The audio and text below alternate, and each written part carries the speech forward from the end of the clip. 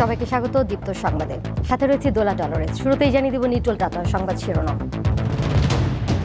TT শফিকুলের বরখাস্তের আদেশ প্রত্যাহারের ঘোষণা রেলমন্ত্রীর।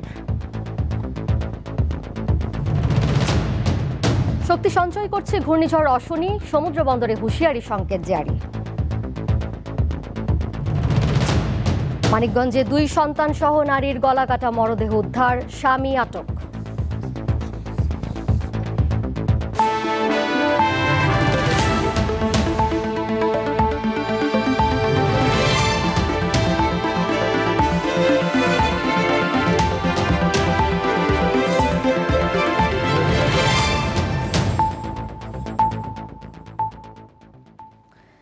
বিনা টিকিটে ট্রেনে ওঠা রেলমন্ত্রীর তিন আত্মীয়কে জরিমানা করে আলোচিত টিটিই শফিকুল ইসলামের বরখাস্তের আদেশ প্রত্যাহার করা হচ্ছে।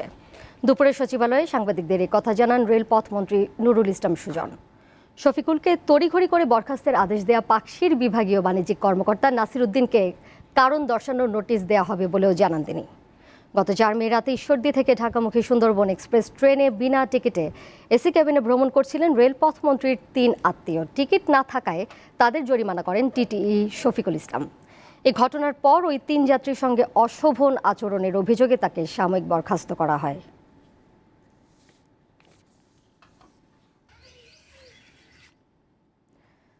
দক্ষিণ পূর্ব বঙ্গোপসাগরে সৃষ্ট নিম্নচাপটি ঘূর্ণিঝড় অশনিতে রূপ নিয়েছে। এটি এখন শক্তি সঞ্চয় করছে। এর প্রভাবে সাগর উত্তাল থাকায় সমুদ্র বন্দরগুলোতে দুই নম্বর দূরবর্তী হুঁশিয়ারি সংকেত জারি করা হয়েছে। আবহাওয়া অফিস জানিয়েছে, ঘূর্ণিঝড় অশনি বেলা বারোটায় চট্টগ্রাম সমুদ্র বন্দর থেকে বারোশো পাঁচ কিলোমিটার দক্ষিণ দক্ষিণ পশ্চিমে কক্সবাজার থেকে এগারোশো পঁচিশ কিলোমিটার দক্ষিণ দক্ষিণ পশ্চিমে, মোংলা থেকে এগারোশো পঁচাশি কিলোমিটার দক্ষিণে এবং পায়রা থেকে এগারোশো পঁয়তাল্লিশ কিলোমিটার দক্ষিণে অবস্থান করছিল। এটি আরও ঘনীভূত হয়ে উত্তর পশ্চিমে অগ্রসর হতে পারে, তাই উত্তর বঙ্গোপসাগরে অবস্থানরত ট্রলার সমূহকে উপকূলের কাছাকাছি থেকে সাবধানে চলাচল করতে বলা হয়েছে।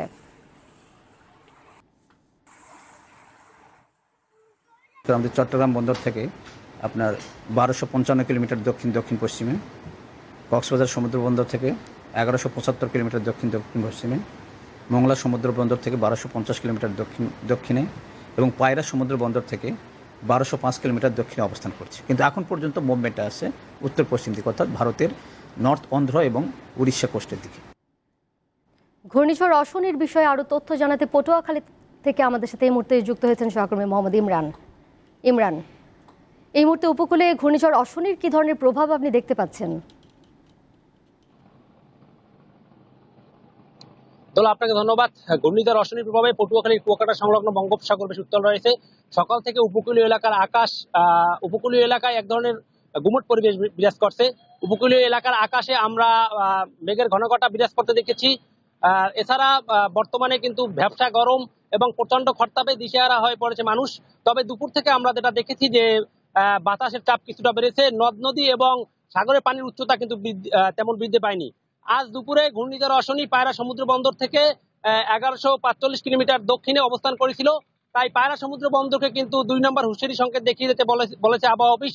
সেই সঙ্গে গভীর সাগরে অবস্থানরত সকল মাছ ধরা টলার সমূহকে কিন্তু নিরাপদ আশ্রয় থেকে চলাচল করতে বলা হয়েছে। তবে আমরা মহিপুর মৎস্য আরোদ্দার মালিক সমিতির সাথে কথা বলে যেটা জানতে পেরেছি এখনও কিন্তু গভীর সাগর থেকে সকল মাছ ধরা টলার তীরে এসে পৌঁছে, পৌঁছেনি। তবে সন্ধ্যা নাগাদ এ সকল টলার তীরে এসে পৌঁছবে। আমি আপনাকে আরেকটি বিষয় জানিয়ে রাখি, ঘূর্ণিঝড় অশনি মোকাবেলায় কিন্তু আজ সকালে জেলা প্রশাসনের পক্ষ থেকে দরবার হলে একটি সভা হয়েছে। সে সভায় কিন্তু সকল উপজেলা নির্বাহী উপজেলা নির্বাহী কর্মকর্তারা উপস্থিত ছিলেন এবং তারা এই ঘূর্ণিঝড় অশনি মোকাবেলায় সকল ধরনের প্রস্তুতি নেওয়া হচ্ছে বলে জেলা প্রশাসন আমাকে জানিয়েছেন। তো দোলা, এই ছিল আমার কাছে পটুয়াখালী থেকে সর্বশেষ। ইমরান, আপনাকে ধন্যবাদ। যাচ্ছি পরের প্রসঙ্গে। সরকার শ্রমিকদের কল্যাণে কাজ করছে, তারপরও কিছু শ্রমিক নেতা বিদেশিদের কাছে নালিশ করছে বলে মন্তব্য করেছেন প্রধানমন্ত্রী শেখ হাসিনা। মে দিবস উপলক্ষে সকালে রাজধানীর বঙ্গবন্ধু আন্তর্জাতিক সম্মেলন কেন্দ্র আয়োজিত অনুষ্ঠানে ভার্চুয়ালি যুক্ত হয়ে তিনি এই মন্তব্য করেন। আমাদের দেশে কিছু কিছু শ্রমিক নেতারা আছেন, তারা কোনো বিদেশি বা সাদা চামড়া দেখলেই তাদের কাছে নালিশ করতে খুব পছন্দ করেন। আমি জানি না এই মানসিক দৈন্যতাটা কেন, বা এর সাথে কি কোনো অন্য কোনো স্বার্থ জড়িত আছে? কোনো দেনাপাওনা ব্যবস্থা আছে? সেটা আমি জানি না। আমরা নিজের দেশের বিরুদ্ধে বা নিজের দেশের সম্পর্কে অন্যের কাছে কেন কাঁদতে যাব, বলতে যাব? আমরা তো এটা চাই না। বাংলাদেশ আত্মমর্যাদা নিয়ে চলবে। দেশের সমস্যা আমরা দেশেই সমাধান করতে পারব। আমি সেই সমস্ত শ্রমিক নেত- নেতাদের বলব যে, আপনি বিদেশের কাছে যে কান্নাকাটি না করে আপনার যদি সমস্যা থাকে, তা আমার কাছে আসবেন।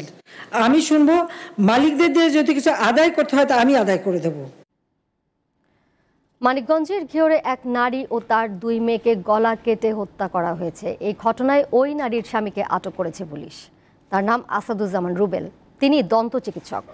সকাল সাতটার দিকে বালিয়াখোড়া ইউনিয়নের আঙ্গারপাড়া গ্রাম থেকে মরদেহগুলো উদ্ধার করা হয়। নিহতরা হলেন রুবেলের স্ত্রী লাভলি। ষোলো বছর বয়সী তাদের বড় মেয়ে ছোঁয়া আক্তার এবং বারো বছর বয়সী ছোট মেয়ে কথা আক্তার। আসাদুজ্জামান রুবেলকে জিজ্ঞাসাবাদ করা হচ্ছে বলে জানিয়েছে পুলিশ।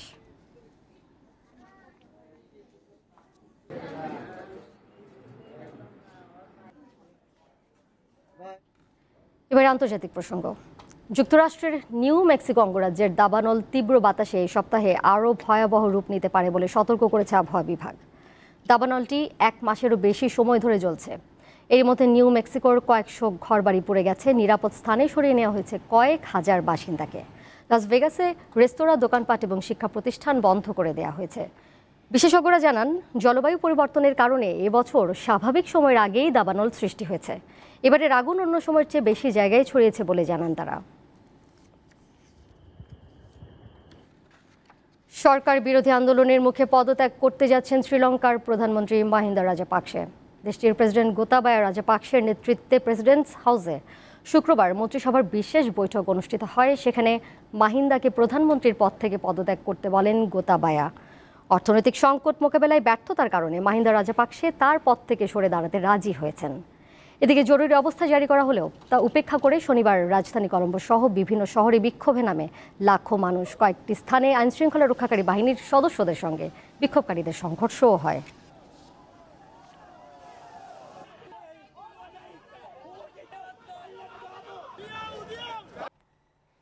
শেষ করব দীপ্ত সংবাদ। যাবার আগে নিটল টাটা সংবাদ শিরোনাম জানাব আরও একবার। টিটিই শফিকুলের বরখাস্তের আদেশ প্রত্যাহারের ঘোষণা রেলমন্ত্রীর। শক্তি সঞ্চয় করছে ঘূর্ণিঝড় অশনি, সমুদ্র বন্দরে হুঁশিয়ারি সংকেত জারি। মানিকগঞ্জে দুই সন্তান সহ নারীর গলা কাটা মরদেহ উদ্ধার, স্বামী আটক।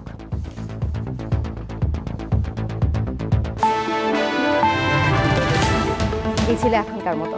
আমাদের পরের সংবাদ বিকাল পাঁচটায়। দেখার আমন্ত্রণ রইল। আর আমাদের সাথে অনলাইনে যুক্ত থাকার উপায় facebook dot com slash Deepto news এই ঠিকানায়। সবাইকে ধন্যবাদ এতক্ষণ সাথে থাকার জন্য।